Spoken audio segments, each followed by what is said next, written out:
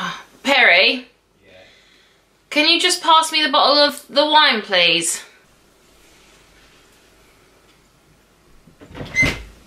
Thank you.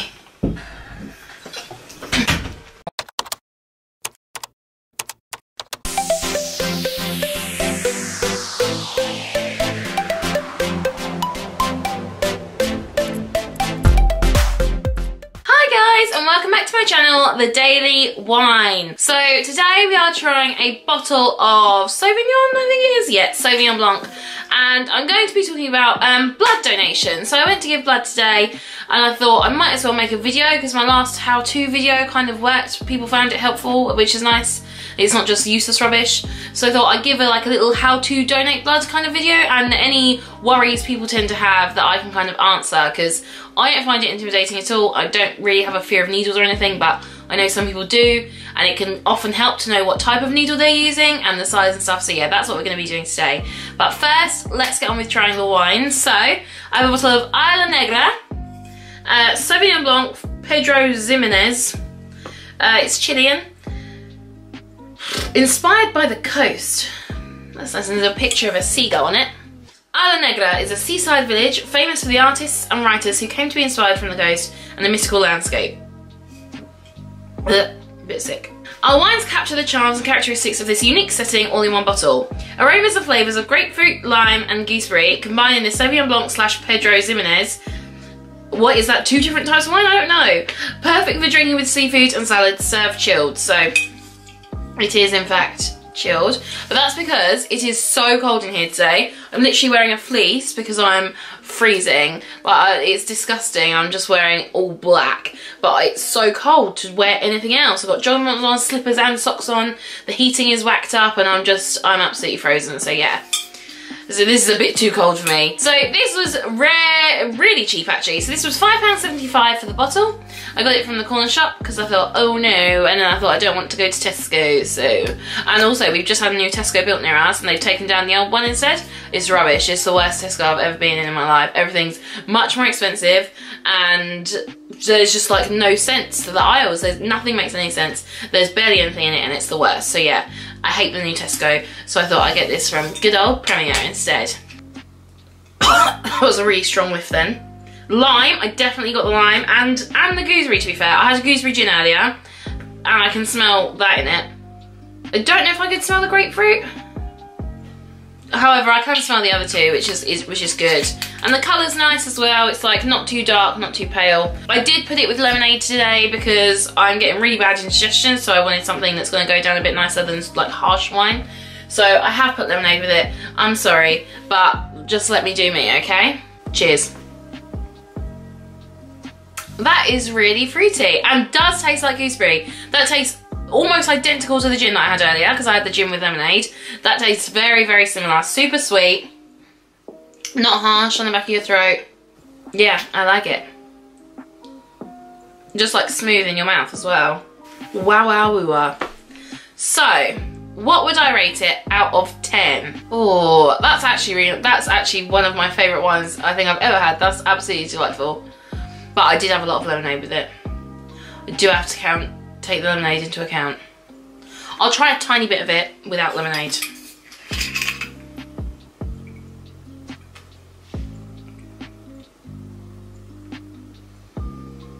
Just as good. yeah. Yeah, that's just as good. Oh, a little bit heartburny though. That might be my already indigestion that I have. I think I would rate that a solid 8 out of 10. It is nice. It did just give me a pang of heartburn, but again, I do already have bad indigestion at the moment, so it could be that. And it's nice, it's sweet, which is funny despite having like a lot of sour undertones. It's a very, very sweet wine. Well done, Isla Negra. 8 out of 10. Let's move on. So, moving on to blood donation. So I have not been able to donate blood for about two years, I think. And it's been really frustrating. So the first time I went to give blood, I had just had um, surgery in hospital and it wasn't enough time after that because I lost a bit of blood there. So there wasn't enough time for me to recover to go and donate. Then I went after that, and because I had an upset stomach, you're not allowed to give blood. Then I went after that, so that's twice, and it's usually like a couple of times in a year. Then last year I think I went to go and I had just caught a cold and so I was really ill. Then the time after that I went to go, my blood my blood levels were too low so I couldn't do it. So it's finally, it's come around at last. I have finally been able to donate blood again. I was so happy. The ladies there are so nice. I talk to them all the time. I've known them since I was younger donating blood and I used to be able to go more frequently. So they were like, oh my god at last! But we'll talk more about that in a second. So, the blood donation process is super, super simple. So first of all, you just need to sign up online on the NHS blood website.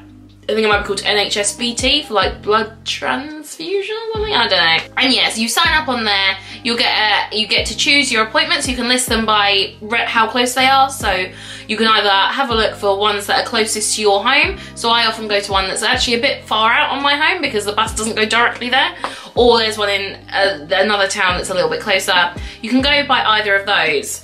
So, uh, or you can, or you can go by appointment date. So, what's what's the quickest appointment you can do?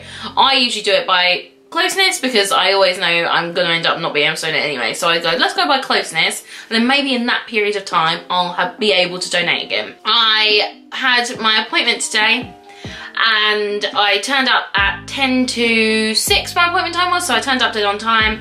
You go in, you uh, have to wear a face mask the whole time, obviously, which is fine, and you have to use sanitizer, and then just before you go in, they say, can you just read this big board here? And there's a little, like, well, not little, a big board at the side just telling you oh, if you have any of the COVID symptoms, do this. If you have any of this, do this. If you have any of that, do this. And it's all it's all like a COVID thing before you get into the building. So it's like if you had any symptoms in the last 28 days, go home.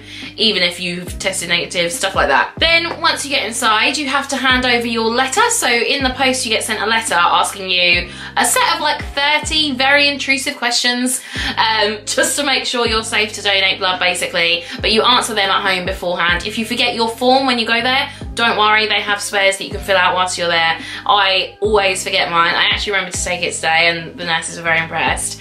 So I always forget, but I actually remembered today, so don't worry if you don't have it on you. And the questions range, so they range from, uh, have you ever slept with someone with hepatitis? To when did you last go on holiday? Have you had a tattoo or piercing? Stuff like that. So they do range, they are very, very personal, but it's in the best interest of the public and everyone else and you as a donor to keep you safe, to make sure that you only can donate as and when. So yeah, fill out your sheet and then if you do tick yes for anything, they'll just go through that with you when you get there basically, which is actually, I say the last time was blood, it was blood, too low blood count before, and then the time before that was because I had just got my nose pierced, so not allowed to do it. You sit down and they give you a book to read and it just tells you you must not donate if uh, you have any of these symptoms or any of these conditions or you or like the very worst of the questions that are on the page. So like if you think you've caught this or that you must not donate. So that's all inside this little booklet. It's also in the booklet to say that you consent having read that and signed your form after to having your blood tested and donated and then being able to contact you if needs be and that they'll store your information in case they have anything to get hold of you about in regards to your blood.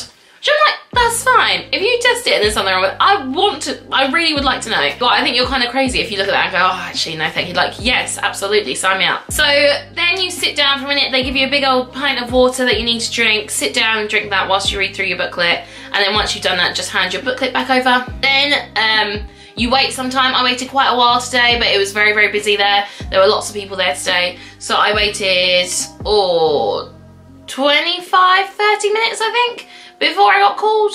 I think that was about it. But once you've been called, the process is much quicker and it's not always that long. It totally depends where you go. Don't be put off by how long it takes. Sometimes you're in and out there within 10 minutes. So yeah, it just totally depends. I obviously picked quite a busy night and it is usually busier in the evening time anyway, which is when I like to go. I, would recommend going in the day because that's when it's emptiest and I've been in the day a couple of times. Then once you're done, eventually the nurse will call you because she'll have like a list of names she needs to get down and she'll call you over.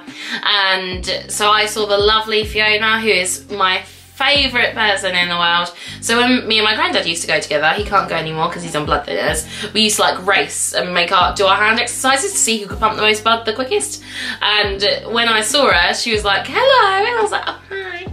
And we she was basically just saying like, oh, it's been a while. I was like, yep, today is the day. I said, Fiona, I feel it. Today, I'm going to be able to give blood. She's like, yeah, I've got my fingers and toes crossed for you.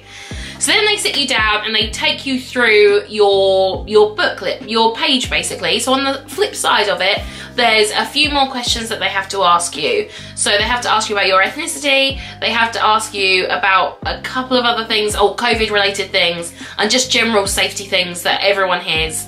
Then they flip it over and they start to go down the list and just highlight any yes questions that you've had. So for her, she stopped on, have I had any aspirin or painkillers in the past seven days? I said, uh, yeah, I had ibuprofen, but at the time of writing that, it was seven days before that. So it's well, not right now because I'd done it two weeks ago I filled out the form. Then she asked me, oh, you've had a tattoo or a piercing in the last 12 months. I was like, yeah, I had a piercing uh, four months ago.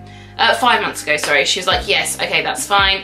Then she moved down to any jabs or vaccinations. I said, yeah, I have my COVID jab. She said, when was that? I said, end of August. She was like, fine. Then the last one was, have you been traveling abroad? Which I said, yeah, I just went to Malta recently. She has to go through a little book and find out if Malta's a safe place to uh, to receive blood from if you've been there in a certain amount of period of time, which is, it was fine. She's like, right, all the checks are passed. I was like, yeah, this is a good start. Then comes the blood test, so I'm thinking like, oh no! Oh, this is where it went wrong last time. So they have two little vials, one blue, one green one. I don't know what the difference is. I think one might, the green one might be for people who are donating platelets. I was donating blood possibly platelets, possibly plasma. They're two. They're different things. So she asked which hand you donate from. I say uh, what arm. I say I donate from my left arm because I'm right-handed. So she said, okay, I'll take your right hand, please. Puts the tiniest, tiniest needle, like an insulin needle, just there. Click. you you start to bleed and they'll squeeze it out to the point where it's so small you can't even see where the dot is. I'm covering a bruise on my finger because otherwise you'll think it's that. It's not that, it's somewhere there. There, yeah, so then she takes your blood, she, squeeze, she squeezes it out a few times and wipes, I guess, to get the clean blood out or the thinnest blood out. I don't actually know what that's for. Gets a little pipette and squeezes it into the thing and that's basically to check that your blood count isn't too low because if it's too low you risk passing out or becoming ill, stuff like that. So you just have to make sure you've got enough blood in you before you donate.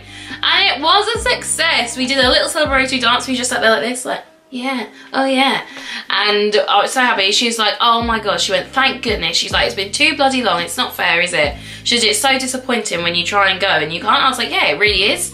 So bless her heart, she was like, I'm so happy for you. I was like, thank you. It's really weird. It's like a very, really lovely environment to be in. Everyone's just so friendly, so chatty. So yeah, we chatted for a bit and she's like, well, your checks are all done then. In that case, follow me. So then you go and take a seat at the end of the table where they arrange your blood bags. And in those little packs. So they have like a, a, a, like a little tray this big and they put everyone's blood pouches in and all of your stuff. So they put your documents in there, your stickers, your labels, your packaging, stuff like that all of your stuff goes in here that's for you to take give blood to basically. So once they've done that, she goes back to her little area where she's doing the checks mostly and someone else comes over to actually put the needle in you and stuff. So she, this other lady comes over, I didn't manage to catch her name which is annoying, and she basically was labelling up and barcoding all of my bags so that they could go, yes, this is her blood, this is her blood, and preparing it to be taken basically. Then they ask what arm you donate from. I say, oh, I donate from my left arm. So they make sure they can find you a seat with a left-armed,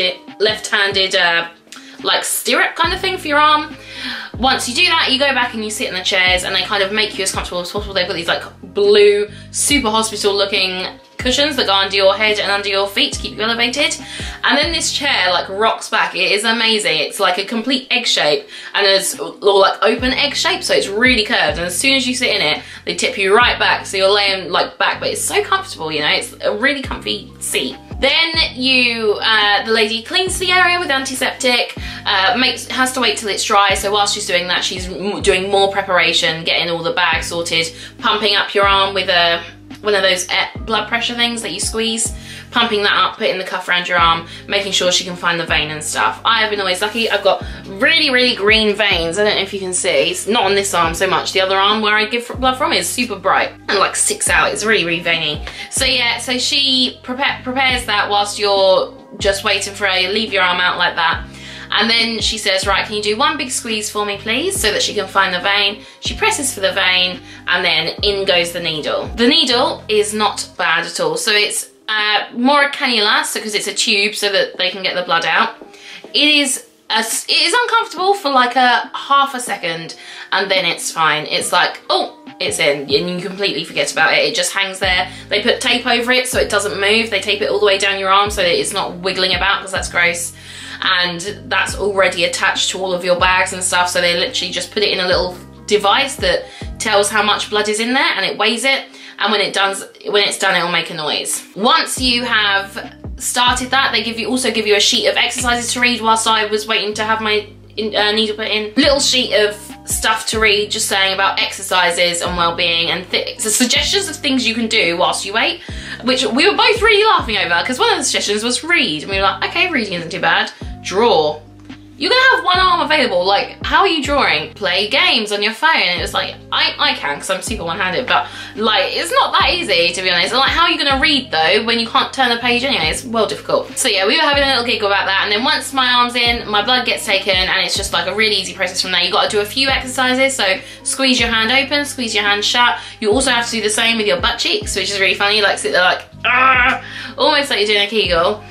Uh, so just squeeze in those throughout and then you have to like cross and uncross your legs as well and they added new ones in since I last went so they've got like a little leg thing that you lift your legs up and down to do as well. Just exercises to keep your blood pressure down and keep your blood flowing basically. Once you're done donating the little beeper goes off so it's like beep beep beep beep beep beep beep beep beep beep beep it's really loud and then someone comes over and it's like you're done and I was like that was quick. And they were like that was quick. And I was saying about how me and my granddad used to race. And at that point Fiona comes over and how is your granddad? I was like yeah. I've just beaten his score I think. 5 minutes 45 seconds. Not everything in life is a competition but that certainly is. And that is a good time. Especially when you google and it says the average time to give blood is 5 to 10 minutes. I'm like oh 5 to 10 minutes 10 minutes that's long. So uh, so yeah I'm a little bit too competitive for my own good, I think. Also, it doesn't matter what time you get. It's just a little competition me and my granddad used to do. We used to do like the most exercises so that we could see who could donate it quickest. Then they take the thing out of your arm. They ask you to apply pressure with three fingers to your to your arm whilst you hold the gauze on to make sure it's not bleeding. And whilst they're doing that, she's uh, doing more prepare preparation on the bag. So writing down, is it done, sticking on more barcodes, stuff like that. Loads of admin work that happens to these bags to make sure that it's going along safely basically. And then she puts on a plaster and a little roll of something as well that like applies pressure.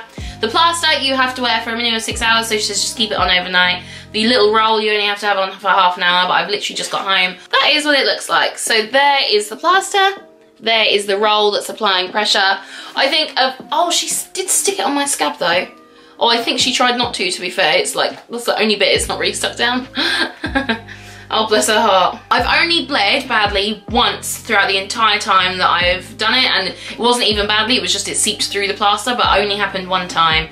Rarely, rarely happens, to be honest. So yeah, that's not something to be worried about. If you're worried about seeing a lot of blood, yes, your blood bag is next to you, but you don't have to look at it. I like looking at it because I'm kind of gross. But you're not going to be physically bleeding down your arm. It's very, very contained and super, super neat processes to make sure that none of that happens. So if you are bleeding, the gauze that's on there, they'll hold and then they'll sort it out for you if it is. So you don't need to worry too much. They sit you up slowly in your seat, so it's on like a lever, so ever so slowly you can go up and up and up.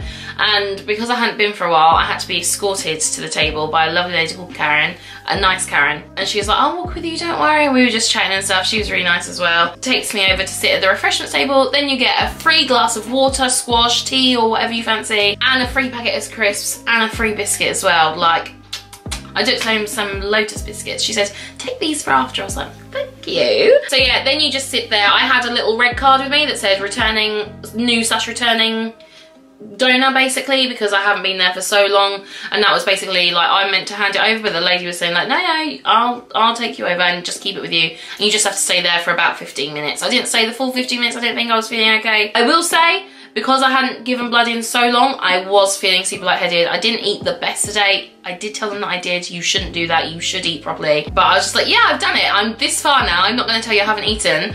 So yeah, I should have eaten properly and you should always keep your fluids up in the day as well because otherwise you're just gonna feel rubbish. I actually felt fine, but I was super lightheaded and then when I left, I was like, I feel very dizzy. But it's not really a big deal, it's just dizziness. You just make sure if it's your first time going, you're worried about fainting, you're with someone because otherwise that can be a bit worrisome. But I knew I wasn't gonna faint, so I was fine. That's pretty much it. So I think the main concerns people have are about the needles. So the needle is fine, you don't feel it. If you've had a tattoo, a tattoo is worse. If you've had any piercing, a piercing is worse. It's not even painful, it's just like an inside scratch in your skin. At best uncomfortable, that's it. It's not or at worst uncomfortable.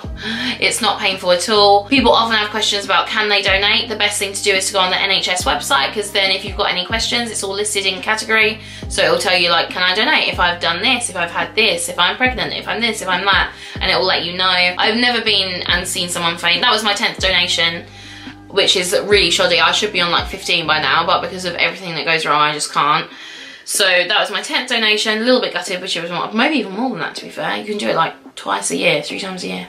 I've never seen anyone faint at all. It's just, it doesn't really happen. Uh, like I say, at worst, people usually feel lightheaded. If you do faint, there's like loads of nurses around to support you and to help you if you do faint, so just don't stress out. But really, if you've got any worries or any questions, let me know. I haven't done it in such a long time, so I know it can be a little bit nerve-wracking because even I was thinking like, what is, how much, how painful is this? I can't remember. But any questions, I'll be really, really happy to know, help with and help you out and answer if you have any. Just comment them down below. And if you found this video helpful, please don't forget to subscribe. I know it's a little bit long, I just thought I'd do a bit of an in-depth process because I know for example, when I first went to get my belly pierced, I watched hundreds of YouTube videos on the actual belly piercing. I even watched a video of it being pierced. Yeah, it, I actually quite find it satisfying still to this day, but I know that I wanted all of the information beforehand and it, a lot of people are like that, so I thought, yeah, why not? So yeah, that's the blood donation process, how to give blood, and I'll put a link down below of the sign up as well. Thank you guys so much for watching. I hope you've had a lovely day. I hopefully am going to eat now. It's quarter past ten, my god. Oh no way! Perry's, Perry has got me Chinese! and he's just waved it around the door so I was thinking, no, I'm not, I'm probably not gonna after saying that. Oh, well in that case, I'm leaving. Thank you so much guys for watching. Have a lovely day, stay safe, and remember, all for wine, wine for all. Peace!